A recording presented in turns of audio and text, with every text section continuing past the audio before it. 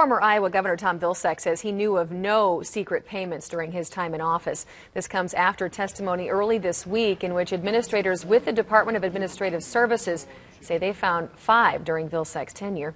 Now, the U.S. Secretary of Agriculture, Vilsack, says he's willing to review documents to prove his position.